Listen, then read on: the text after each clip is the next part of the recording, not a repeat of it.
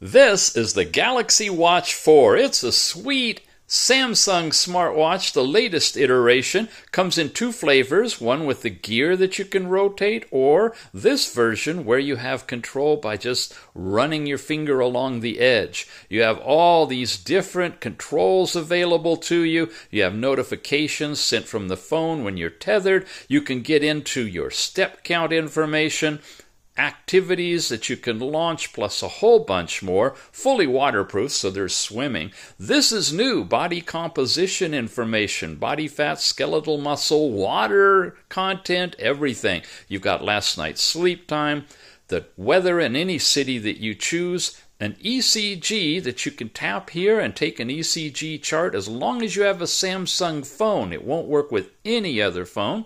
You've got your heart rate, your blood oxygen range when taken last night or an instantaneous measure. You've got stress that you can monitor as well, and you can add all kinds of other. Um, tiles on here at, at your discretion.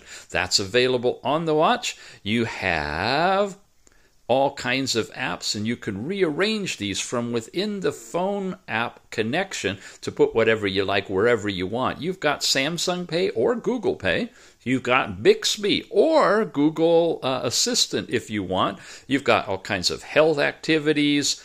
Look at all of this compass, calendars. You can tether earbuds, Bluetooth calling supported in this, calendars, and a whole lot more. It's a really nice watch, very lightweight. They've done their engineering. Comes with this TPU band, all the sensors on the back, thin, workable. It's the Galaxy Watch 4. Check it out.